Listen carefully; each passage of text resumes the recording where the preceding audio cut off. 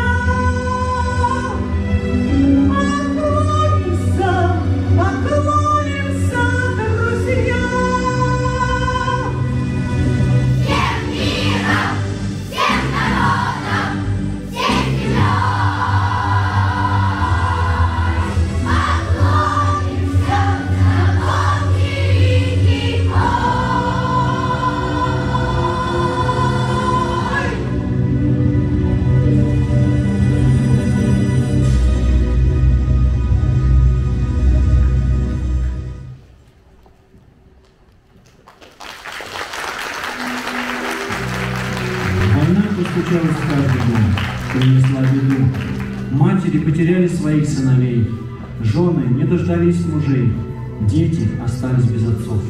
Наш народ героически боролся на передовой, погибал бравым солдатом на фронте, закрывал грудью амбразуру.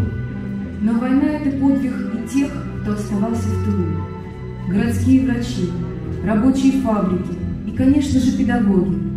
В годы Великой Отечественной войны многие учебные заведения продолжали работать, даже несмотря на то, что фашисты приравнивали их к военным объектам. За окном грохотали танки, звенели пули, а они продолжали воспитывать своих учеников с заботой о будущем, которое те однажды будут создавать.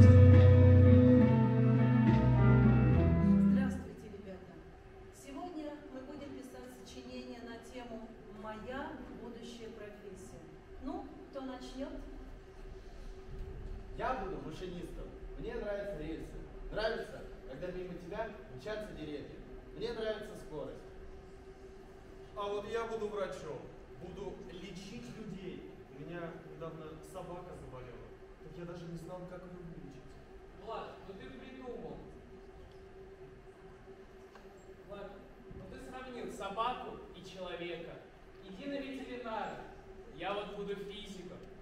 Хочу разбираться в том, я буду учителем. Сидишь, ничего не делаешь, только оценки всем ставишь. Но война мешала сбыться мечтам ребят. Она оторвала от школы тысячи учителей и старшеклассников, уходивших на фронт, в народное ополчение, на курсы медсестер. Отныне, в течение нескольких лет, они будут держать в руках не указку и ручку, а оружие, читать фронтовые карты, переводить допросы пленных, ходить в разведку, пробираться глухими партизанскими тропами. Многие выпускники школ целыми классами уходили на фронт.